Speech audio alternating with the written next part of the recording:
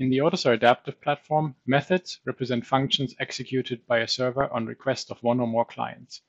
Client and server components are connected via service ports.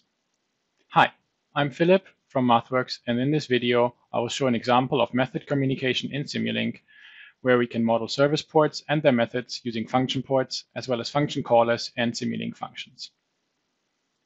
In this example, we've got a client component called sensor.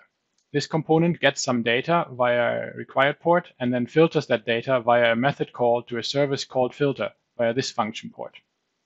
The function port resolves to a function caller block inside this subsystem.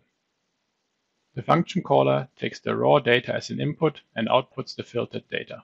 This filtered data is sent as an event via the filtered data provided port. The mapping shows that the function port maps to a service port and a method based on the block configuration. Let's now simulate the method communication between a client and a server component. I've placed the client component inside a system model and connected it to a server component via this line. The server is a moving average filter. For a different use case, the server can be replaced by a different component implementing the same service interface. Let's look at the server model. The server is another adaptive AUTOSAR software component providing the filter service via a function port that resolves to this Simulink function. The arguments of this function match those on the function caller in the client component. For simulation, I'm providing some example data via test harness, and I am triggering the client calls periodically with a 50 millisecond period. Let's now simulate. In blue, we can see the raw input data, a noisy sinoid wave. In orange, we can see this signal smoothed out as a result of the client-server communication between two adaptive software components via methods. I will now hand over to my colleague Casey to talk about generating C++ code and ARXML for adaptive AUTOSAR software component models. Here we will show how to generate code from this adaptive AUTOSAR application. As Philip explained, the purpose of this model is to receive a message containing a payload of raw data, extract the data from the message and filter it by making a client call to a server, and then send the filtered data back out in a message. Let's generate code for this model.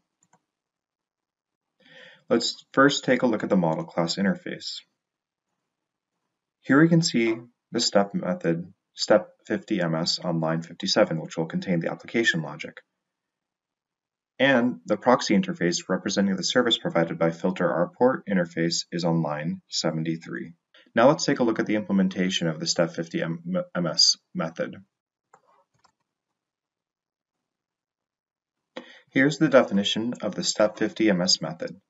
This method calls into the filter method provided by the filter rport service interface on line 48. The result of this server call is retrieved on line 52 with a blocking call to get result. The has value method of the result object instance is queried on line 56. If the server executed and returned a value successfully, this will return true. The filtered value will then re be retrieved on line 60. Now let's take a look at the generated ARXML. In the ARXML file, we see a service interface with name filter rport and a method that is a client-server operation with name filter. Thank you, Casey. In summary, we've shown how to model and generate code for client-server communication using methods in AUTOSAR Adaptive. Thank you for watching.